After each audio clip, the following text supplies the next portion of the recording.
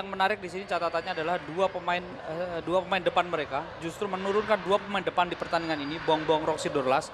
Ini pelatih yang lahir di Belanda dan dia menurunkan dua striker sekaligus di pertandingan ini. Eh, inilah eh, Putra Kaicen, penjaga gawang yang menjadi andalan dari Indonesia dari mulai Piala AFF yang lalu. Lalu ada Alvin Lestaluhu, lalu ada Kadek Ariel, Marcel Janual Putra dan juga Alex Felix Alexandro Felix Kamuru.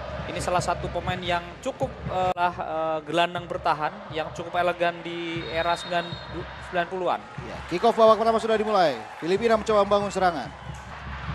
Tekanan langsung cukup berbahaya. Oh, maksudnya tadi ke depan kepada di squad Filipin. Serangan dari Filipin berbahaya, dijauhkan. Oh, tendangan kurang akurat tadi. Ada Alvin, masih Alvin, cukup bagus Alvin. Kepada pemain nomor 17, Raka. Ah, sayang sekali. Reza lagi. Atala, cukup bagus. Oh. Sebuah tusukan yang cukup bagus dari tiga pemain bersatu dan membuat lawan sedikit kesulitan walaupun uh, endingnya kurang maksimal. Tadi adalah pemain terakhir L umpan cukup matang dari seorang Alexandro Felix Kamuru. Sayang headingnya menyamping justru dia yang masuk ke gawang.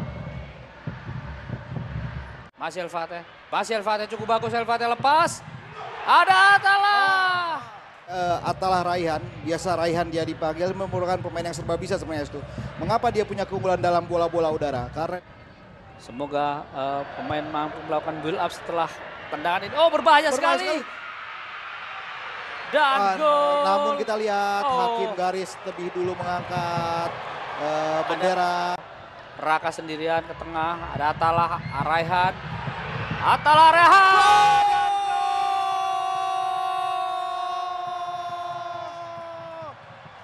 Akhirnya Ahmad Atala Araihan mencetak gol dan benar apa yang dikatakan Jalu.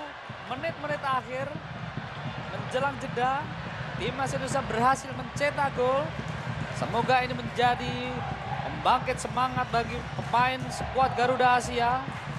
Inilah Moham A- Ahmad Atala Araihan dengan sendiri Atala ada Raka di sana, Atala sendiri ada Raka di sana, Atala. Sa ah. Ah, sayang sekali. Tampak Valero ingin membuktikan diri pada ada beberapa rekan yang Indonesia berasal dari Bali United. Raihan mencoba melakukan kick off babak kedua. Babak kedua dimulai. Indonesia 1, Filipina 0. Raka, ada Valeron di sana, ada Reza sendiri cukup berbahaya, cukup bagus. Marcelino dan gol. Hanya butuh 40 detik pada babak kedua. Marcelino yang kita bahas tadi sejak awal pada awal babak kedua langsung membuktikan kelasnya lewat sepakan dari yang menggetarkan gawang Filipina dan mengubah skor menjadi 2-0. Ada Marcelino, Marcelino, Alvin, Alvin, oh, gol!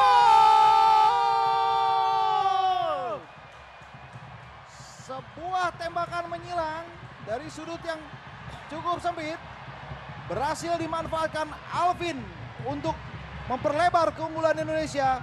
Indonesia 3, Filipina 0. Iya, tidak tidak melulu me- memaksimalkan serangan dari sayap dengan crossing,